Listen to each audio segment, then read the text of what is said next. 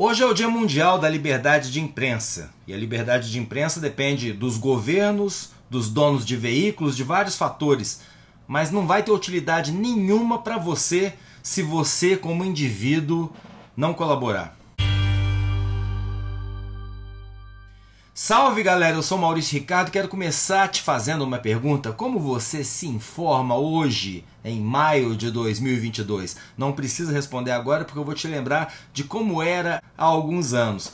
A maioria das pessoas ligava a TV na hora do telejornal e assistia por sei lá, meia hora, 40 minutos, uma seleção de notícias que alguém escolheu para você, que alguém apurou para você, que alguém editou para você. Uma minoria com hábito de leitura e poder aquisitivo e um pouco mais a fundo, com, com análises mais variadas em jornais e revistas, mas mesmo fontes mais ricas em opiniões divergentes também eram submetidas à editoria, à curadoria de um grupo pequeno de pessoas.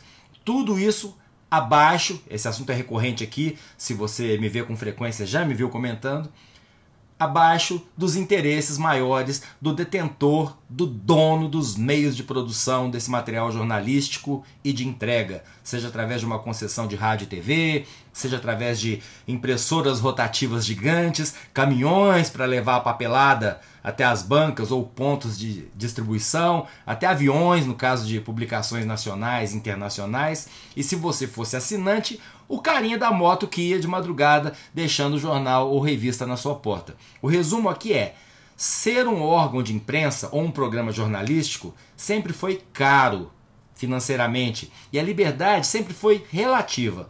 Na época da ditadura militar, ela simplesmente inexistia. Havia um censor profissional, funcionário público dentro das redações para fazer a famigerada censura prévia. Depois, já na redemocratização, havia a vontade, os interesses dos donos dos jornais e emissoras escondendo ou expondo determinadas pautas, muitas vezes sob o protesto dos jornalistas quando enxergavam uma intervenção indevida no trabalho deles.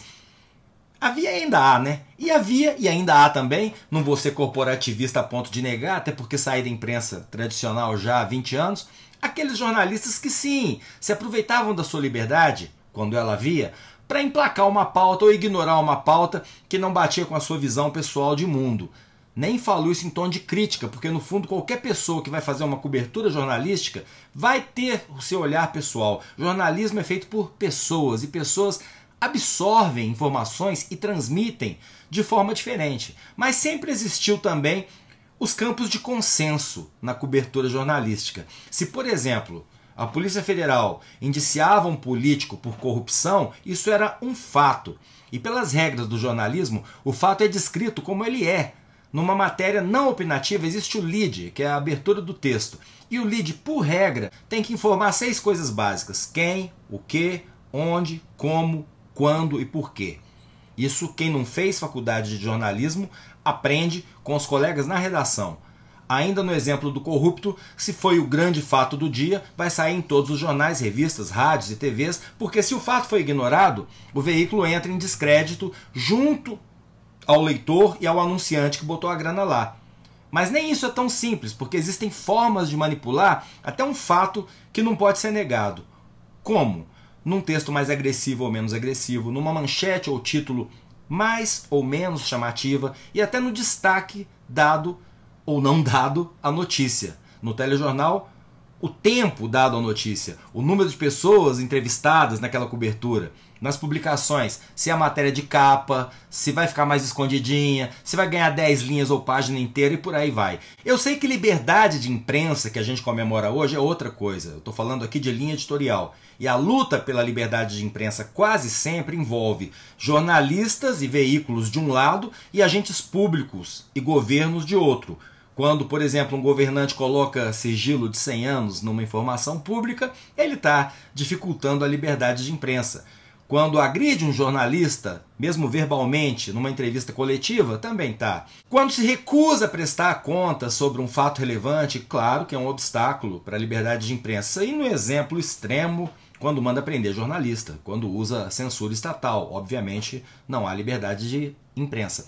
E fora dos governos, quando um jornalista é morto por bandidos, por grileiros, por sei lá quem, também não vivemos num clima de liberdade de imprensa. Porque não há segurança para o jornalista. E até aqui eu acho que eu estou pintando um quadro da imprensa tradicional. E hoje, com a rede social, YouTube, grupo de WhatsApp, voltando à pergunta, como é que a gente garante a liberdade de imprensa? Por onde você se informa? Se você entrar no UOL ou um G1 da vida, se você se informar por um telejornal da Globo, ou da Band, ou da Record, esses conceitos antigos ainda estão valendo, não sei por quanto tempo. Mas vejam, por exemplo, o caso do YouTube, do Facebook, do Twitter.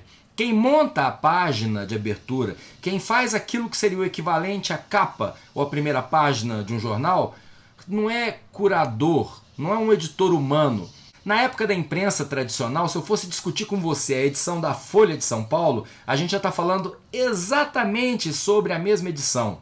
Mas nesse mundo onde cada vez mais a gente acaba se informando pelas big techs, as gigantes da tecnologia, a minha capa do YouTube não é a sua, é outra completamente diferente, baseada nos meus cliques. A minha timeline do Twitter, do Insta, do Facebook igualmente. Então, como a sociedade, a coletividade, vai conseguir estruturar, embasar um, um debate justo, coerente, quando as fontes não são compatíveis? Entende?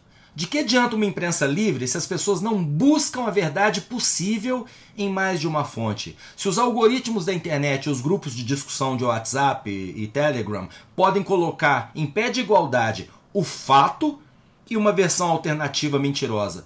Como a liberdade de imprensa pode ser útil, pode cumprir sua função, se a imprensa tradicional está se esvaziando, está empobrecendo? E se só uma minoria tem disposição e tempo e vontade para ir atrás do fato? Eu li na Wired, que é uma revista e ao mesmo tempo um portal nos Estados Unidos voltado para a tecnologia, que mesmo que o Elon Musk, que comprou o Twitter, tente cumprir sua promessa de abrir o algoritmo da plataforma para quem quiser estudar e aprimorar, ele não vai conseguir qualquer forma de transparência ou de liberdade real, porque a gente não está falando aqui só de censura ou não de fake news. A gente não está falando de conta caçada apenas, de bolts contra humanos de verdade. A gente está falando, segundo a Wired, eu vou deixar o link da matéria, não de um algoritmo central, mas de uma dança de algoritmos diferentes sobre uma montanha complexa de dados que vão fazendo o seu Twitter e o meu Twitter reagirem diferentemente aos nossos cliques e interações com base em, mach em machine learning, que é aprendizado de máquina. Não é um código criado por um programador que serve para todo mundo. Eu creio que isso também deve servir para o YouTube, para o TikTok, etc. Eu não vou me aprofundar no tema para o vídeo não ficar chato, mas a matéria é bastante rica e fácil de entender. O resumo aqui é: não adianta liberdade de imprensa no mundo digital se o cidadão, eu, você, seu amigo, não furarmos bolha, não procurarmos fontes confiáveis, mais de uma, não honrarmos essa liberdade fazendo a nossa parte para buscar a verdade possível porque aparece uma verdade para cada um de nós nesse mundo das redes sociais. Eu sou Maurício Ricardo, inscreva-se no meu canal, ative o sininho, deixe o like ou dislike, comente, é muito importante e proteja-se. Existe uma guerra de informação aí fora e o mundo digital ainda é imaturo demais para a gente acabar essa guerra e construir qualquer tipo de entendimento com cada indivíduo numa sociedade vivendo o mundinho que os algoritmos criam de forma customizada para cada pessoa.